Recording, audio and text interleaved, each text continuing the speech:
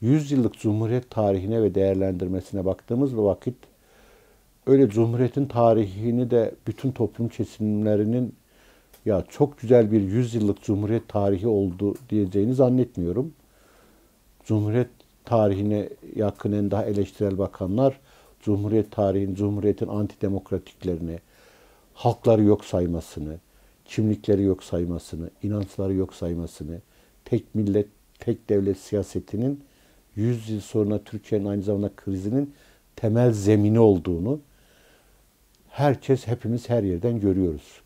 Bu anlamda HDP'nin aynı zamanda yalnız AKP rejimini yıkmak değil, buna kısmı pansuman modelleriyle bir tür var olan cumhuriyeti ve devlet modelini restore ederek geçmek isteyen Millet İttifakı karşısında topluma başka bir düzen mümkün ve başka bir yaşam mümkün diye üçüncü yol diye tarif ettiğimiz, üçüncü çizgi diye tarif ettiğimiz ve HDP ve Emek Özgürlük Bloku'nun sahiplendiği halkların özgürlüğünü, emeğin özgürlüğünü, kadınların özgürlüğünü, ekolojik hayatın özgürlüğünü temel şair edilmiş bir yaklaşım tarzının bu seçimlerden sonra inşasının ve bu mücadelenin büyütmenin potansiyelleri ve imkanları olduğunu düşünüyoruz.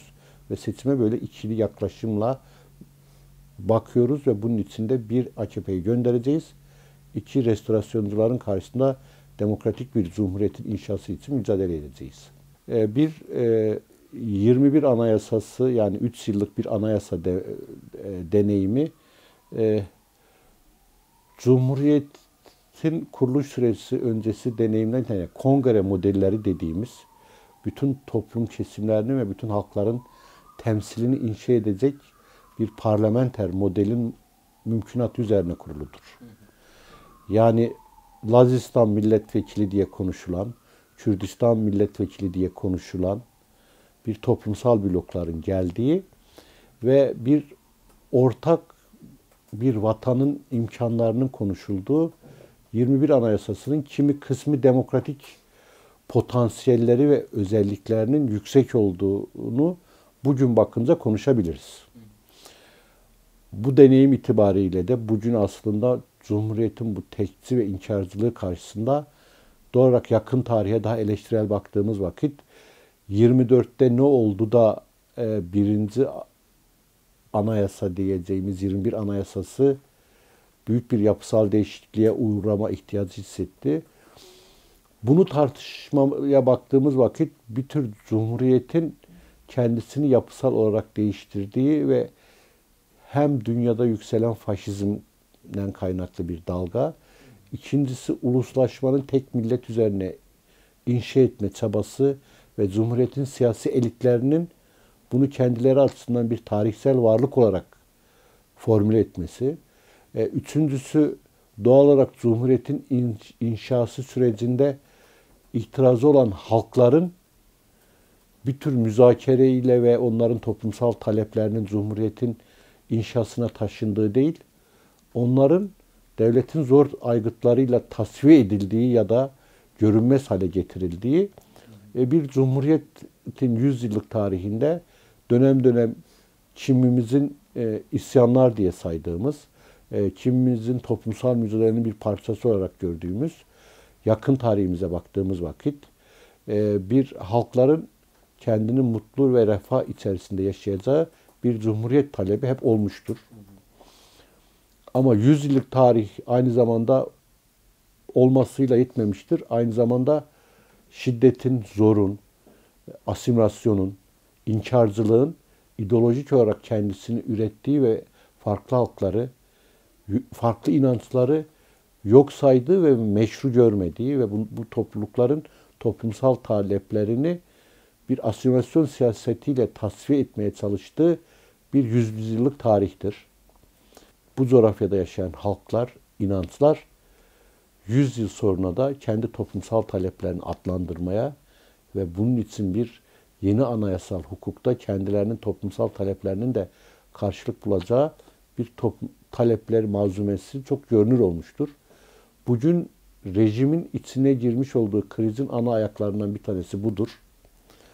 Ve doğal olarak HDP olarak demokratik bir anayasa cumhuriyetin aynı zamanda demokratik bir anayasası hangi zemine oturmalıdır konusunda da konuştuğumuz ve fikirlerimiz alışverişinde bulunduğumuz bu konuda farklı fikri olan toplumsal kesimlerle ortaklaşmanın imkanlarının nereye kadar nasıl olduğunu halkların, emekçilerin, kadınların, Kürtlerin nasıl bir cumhuriyette ve nasıl bir anayasada yaşamak istediklerinin de bir ön tartışmasının olduğunu düşünebiliriz.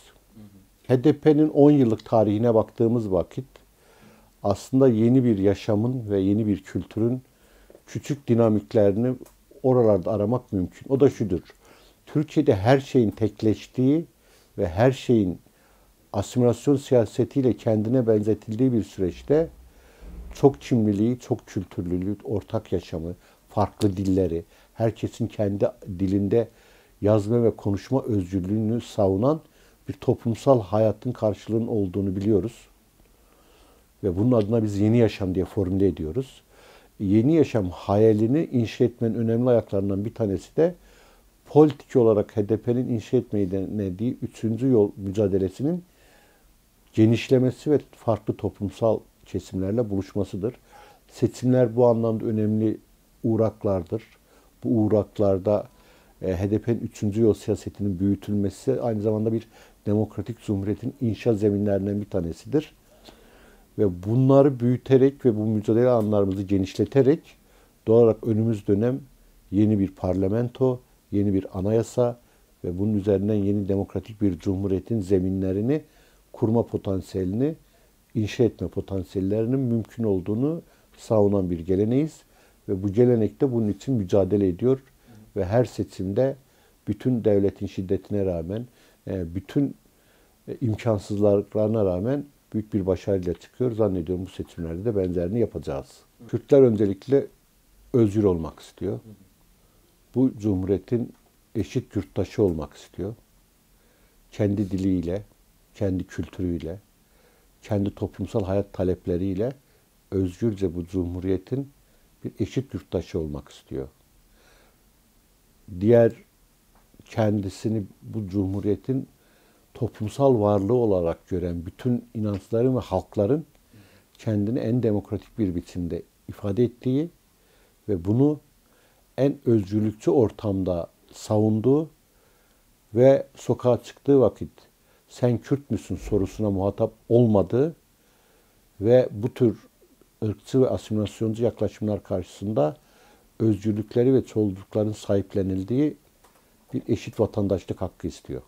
Cumhuriyeti tartışmalarında yani Fransız devriminden bugüne kadar baktığımız vakit Cumhuriyet tartışmaları aynı zamanda hep en canlı ve en e, farklı filozofların, farklı tarihsel momentlerde yeni adlar alarak ya yeni biçimler alarak konuşulmuştur. Türkiye'nin yakın tarihinde de e, Sayın Abdullah Öcalan e, bu konuda demokratik cumhuriyet konusunda kendi tezini toplumla paylaşmıştır ve bunu sahiplenen ve, ve bunun kendi toplumun yeniden inşasında önemli bir fikriyat olduğu yalnızca bu coğrafyadaki halklar tarafından değil, dünyanın başka yerlerindeki halklar tarafından da bir siyasal karşılığı olan, hatta Avrupa'nın akademilerinde bu tezlerin konuşulduğu ve tartıştığı bir fikriyattır. E, bunu görmeden politik bir düzen tartışmak, politik bir fikriyat tartışmak e, ne kadar mümkündür bilmiyorum. E, doğal olarak ben bir yayıncı olarak bütün politik fikriyatların, bütün e, bu zeminlerin, politik fikriyatların zeminlerinin kıymetli ve değerli olduğunu düşünüyorum. Onları okuyarak büyük fikri zenginliklerimizin de genişlediğini, Cumhuriyet fikriyatının da Türkiye'de bu alanla yeniden tartışılmaya ihtiyacı olduğunu düşünüyorum.